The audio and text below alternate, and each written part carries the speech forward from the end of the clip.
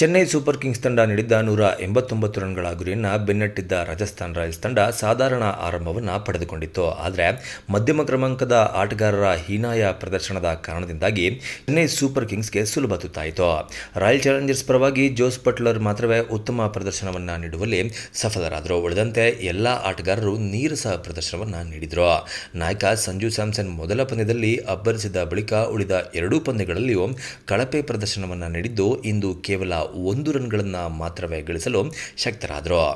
ಮನನ್ ವೋರಾ ಹಾಗೂ ಸಂಜು ಸ್ಯಾಮ್ಸನ್ ವಿಕೆಟನ್ನು ನಲವತ್ತೈದು ರನ್ ಗಳಿಸುವಷ್ಟರಲ್ಲಿ ಕಳೆದುಕೊಂಡಿದ್ದ ರಾಜಸ್ಥಾನ ರಾಯಲ್ಸ್ ತಂಡಕ್ಕೆ ಬಟ್ಲರ್ ಚೇತರಿಕೆ ನೀಡುವ ಯತ್ನವನ್ನು ನಡೆಸಿದ್ರು. ಆದರೆ ರವೀಂದ್ರ ಜಡೇಜಾ ಎಸೆದ ಅದ್ಭುತ ಎಸೆತಕ್ಕೆ ಬೌಲ್ಡ್ ಆಗುವ ಮೂಲಕ ಬಟ್ಲರ್ ವಿಕೆಟನ್ನು ಕಳೆದುಕೊಂಡ್ರು. ಜೋಸ್ ಬಟ್ಲರ್ ವಿಕೆಟನ್ನು ಕಳೆದುಕೊಳ್ತಾ ಇದ್ದಂತೆ ರಾಜಸ್ಥಾನ ರಾಯಲ್ಸ್ ತಂಡ ಹಠಾತ್ ಕುಸಿತವನ್ನು ಕಂಡಿತು ಕೇವಲ ಎಂಟು ರನ್ಗಳ ಅಂತರದಲ್ಲಿ ಸಂಜು ಸ್ಯಾಮ್ಸನ್ ಬಳಗದ ಮಧ್ಯಮ ಕ್ರಮಾಂಕದ ಐದು ವಿಕೆಟ್ಗಳನ್ನು ಕಳೆದುಕೊಂಡು ಸಂಕಷ್ಟಕ್ಕೆ ಸಿಲುಕಿತ್ತು. ರವೀಂದ್ರ ಜಡೇಜಾ ಹಾಗೂ ಮೊಯಿನ್ ಅಲಿ ರಾಜಸ್ಥಾನ್ ರಾಯಲ್ಸ್ ತಂಡದ ಮಧ್ಯಮ ಕ್ರಮಾಂಕವನ್ನು ಅಕ್ಷರಶಃ ಪುಡಿ ಪುಡಿ ಮಾಡಿದರು. ಅಲ್ಲಿಂದ ರಾಜಸ್ಥಾನ್ ಯಾವ ಹಂತದಲ್ಲಿಯೂ ಚೇತರಿಸಿಕೊಳ್ಳಲು ಸಾಧ್ಯವೇ ಆಗಲಿಲ್ಲ.